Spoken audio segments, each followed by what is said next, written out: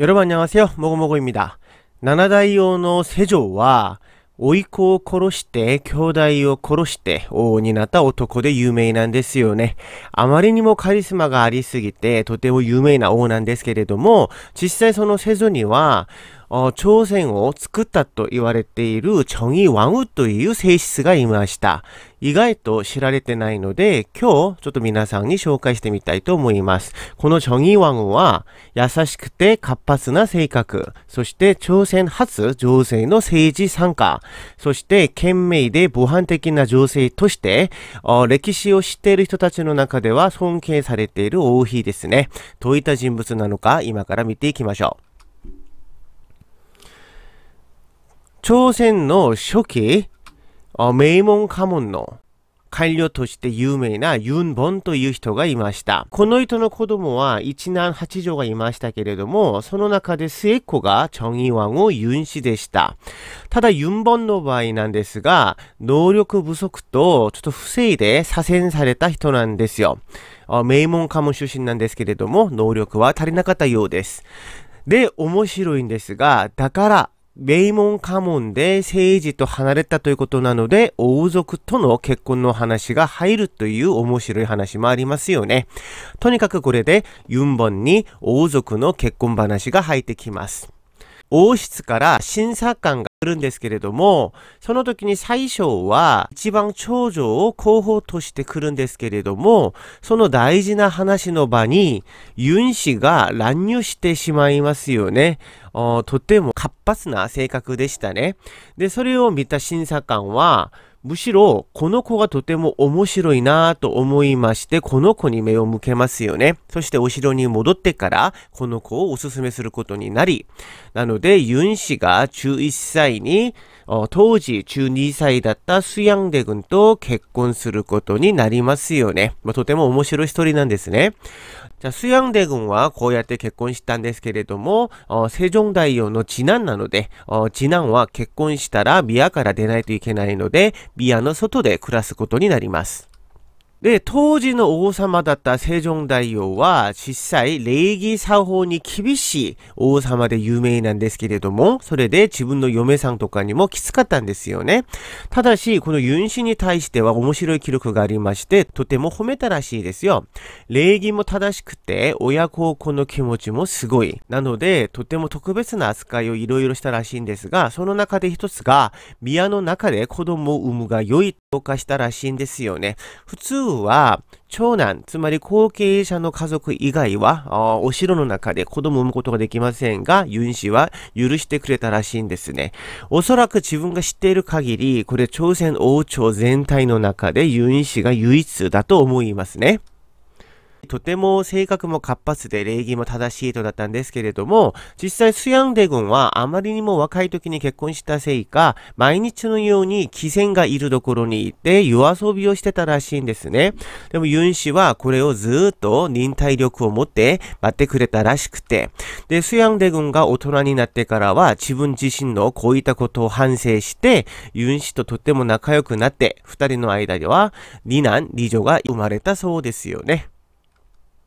この時、朝鮮の王室はとても混乱期を迎えます。セジョン大王という素晴らしい王が亡くなった後、息子の文正もとても素晴らしい王でしたけれども、病気で2年ぐらいで亡くなりますね。で、この文正の子供もとても頭がいいと言われている誕生でしたけれども、12歳というとても若い年齢でしたね。で、じゃあ、普段だったら、誕生のお母さんなどが代理政治をするべきなんですが、その代理の人になる人がみんなも死去してしまって誰もいなかったんですよ。なので、当時、チャイジョンだった金正ソが、王様の代わりの仕事をやっている感じになっていたんですよね。で、金正ソという人は、まあ普通に立派な人物だったらしくて、まあこれに関して不満はあんまりなかったようなんですけれども、もちろん不満を持っている人たちもいたんでしょう。こうやって不満を持っていた人たちがスヤンデ軍に集まるんですよね。誕生のおじさんになりますね。で、もちろん金正恩もこれは知っていました。こうやってスヤンデ軍の勢力が大きくなることを警戒するため、三男、正常大王の三男、スヤンデ軍の弟ですね、安平デ軍と手を組むんですよ。これによってスヤンデ軍は立場がとても悪くなります。えひょっとしたら自分が政治的などころか、反逆罪で殺されるかもしれないような立場に置かれますよね。で、こういった悩んでいるスヤンデ軍、もちろんスヤンデ軍を支持している家臣たちもイライラするでしょう。早くこう決断をといて、スヤンデ軍をせかします。で、こういった悩みの中に、ユン氏がいきなり鎧を持ってきてスヤンデ軍の前に現れます。そして、お望みのままにと言いますね。これは、つまり、無言の指示を示したんですよね。つまり、えー、反逆を指示したことになりますが、一応ユン氏としては、これがただの自分の抑止によるようなことじゃなくて、自分が愛しているスヤンデ軍のために正しいことではないとは思いながら、立場を理解していてやった指示じで、その証拠として、ユン氏は昔から準備をしていたんですよ。えー、当時、한확という民の王族と霧の家族をやっている超名門家紋がありましたが、その家紋にお話をかけて、子供同士を結婚させるんですよね。어自分の長男、イギョンセ자또 한왕の娘、後に인수デビになる한정と結婚をさせるんですよね。 で、それにとどまらず、세종다이오の親友とも言われていた정인지が、金正서とちょっと仲が悪くなったことをキャッチして、어 정인지にも話をかけるんですよ。うちの娘をもらってくださいと言って。で、結局ユン氏は自分ができる最大ことをやっていました。つまり子供たちの結婚をさせて、 スヤンデ軍の力を強くしていたんですよね。で、こういったユン氏の指示に勇気を得た世女は、1453年11月10日、ケユジョンナンというクーデターを起こして、その夜、金正恩を率いる高位官僚をみんな殺して、自分が実権を掌握して、高位官僚の権力を全部自分に集中させるという、まあ、実質の王になりますね。2年後、正式に王になって、7代を聖女になって、ユン氏は정의왕후になります。어聖女は정의왕후をとても信頼していたようですよ。王様になってても、政治の相談や外交の相談など、いろいろなことを정의왕후と相談してたらしいですよね。 で、二人の仲もとっても良かったらしくて、王様になってからは側室を一人も入れないんですよね。スヤンデ軍の時に入れた側室以外は、その後からずっと側室は入れないんですね。じゃあ、これによって、って정의왕幸せな道を歩めばいいと思いますが、残念ながらその後から정의왕후には悲しいことが続きます。 先ほど言った異形世者が二十歳という若き年で亡くなりますよね。で、その後約10年後に50歳で自分が大好きだった世女もひどい皮膚病によって亡くなりますね。で、結局、正常がなくなって長男も亡くなっているので、次男のイエジョンが王様になりますが、イエジョンも病気によって亡くなりますよね。まあ、当時朝鮮では誕生のお母さんの呪いがかかっていると言われているぐらい悲しいことが続いたということなんですよね。で、ただ、정의왕후は王侯なので、悲しんでばかりではいられなかったんですよね。次の王様を決めないといけなかったんです。えー、家臣たちが来て、次の王をやっぱり정의王侯に聞きますよね。で、当時、예종の息子であったチェアン대군がいましたが、4歳だったんですよ。何もわからないんですよね。なので、チェアン대군は子供なので、王様にはふさわしくないとみんなの前に言います。で、 정의왕후は先ほど言った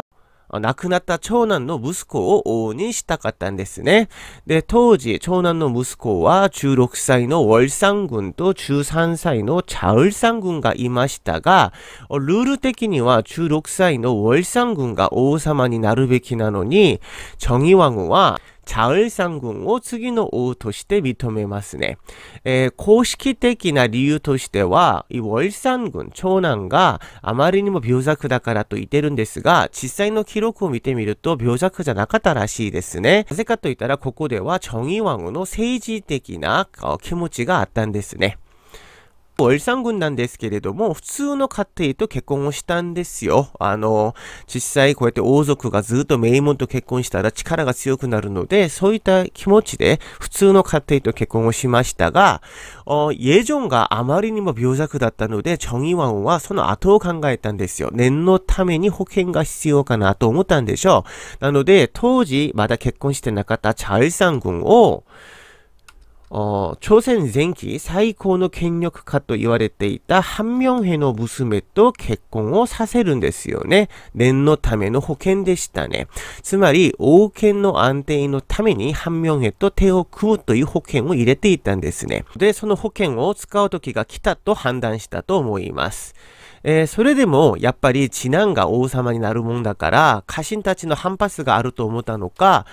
決めたその当日急いで即位式を挙げるんですよね。これによって13歳の旧大王の孫ンが歴史の舞台に現れます。こうなると、チョ王ワンは王様のおばあちゃんになりますね。なので、チャソンデビという名前に変わりますよね。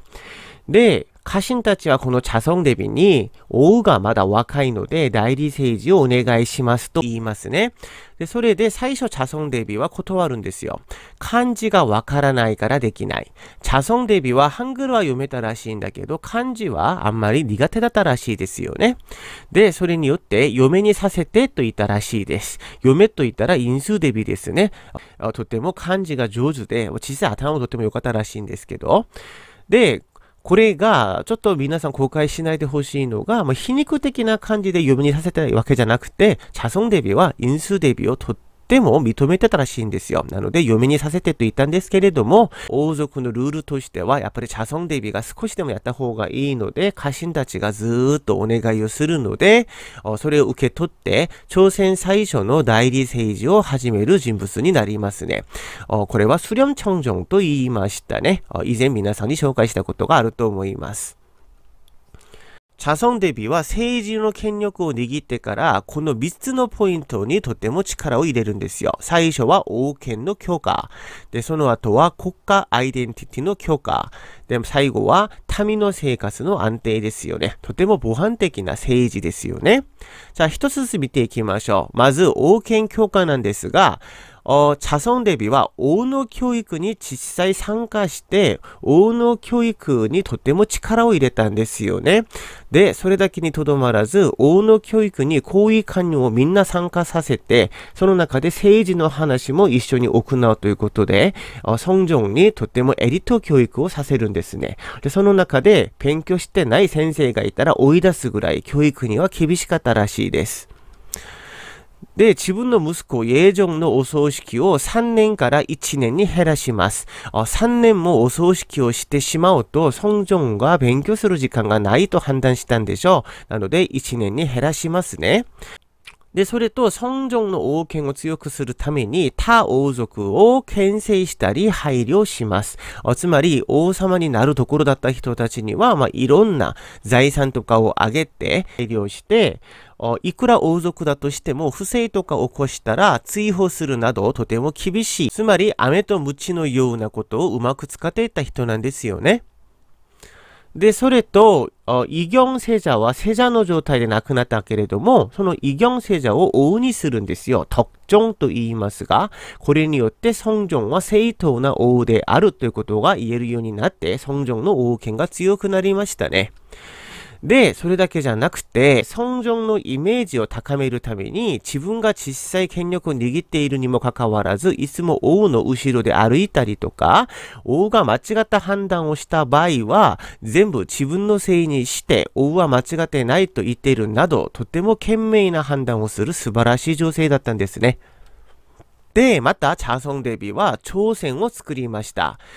当時まで朝鮮はまだ古来の色が残っていて、儒教の国にもかかわらず仏教を信じている人が多かったんですけれども、やっぱり仏教より儒教を重視するということで、まず首都には僧侶を立ち入り禁止させるんですよ。つまり首都の人たちは僧侶を呼ぶことができませんでした。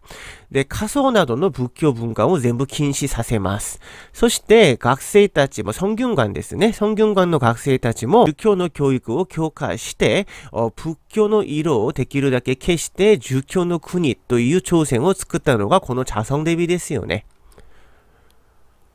で、茶성대비は民主の気持ちもちゃんと読めたんですよ。一旦まず身分証を廃止します。当時朝鮮には写真のような身分証がありましたけれども、これが実際差別を生んだりとか、偽物の身分証が回ったりとかしてたので、民の負担がとても多かったらしいですね。これを臨時で廃止して、そして税金を国へ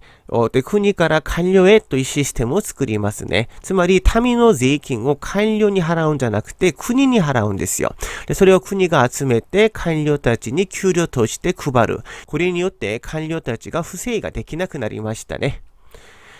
で、そして今年の収穫が悪い地域は税金を免除するなど、民の気持ちをよく理解してくれた王妃様でしたね。でこういった자성デビンの努力の結果、ソンジョンは20歳になってとても立派な王になりました。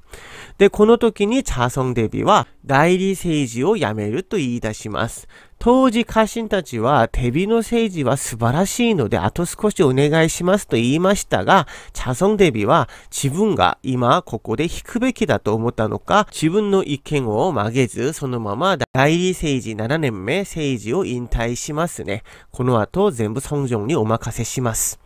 で、政治から引退しても自分の役目はちゃんと果たした方なんですね。正常のクーデターでいろいろ被害を受けている家族などに配慮するなど、まあ、お米を送ったりとか、で、まあ、いろいろ配慮をしていたらしいですね。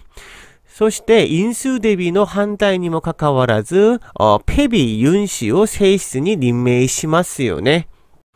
一応、チャソンデビはペビユン氏がとても気に入ったようですね。어チャソンデビのような素晴らしい方がペビユン氏を嫁さんに選んだのも、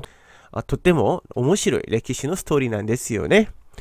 で、1483年64歳に、聖女が大好きだった温泉で亡くなりますよね。死因はひどい風邪だったらしいです。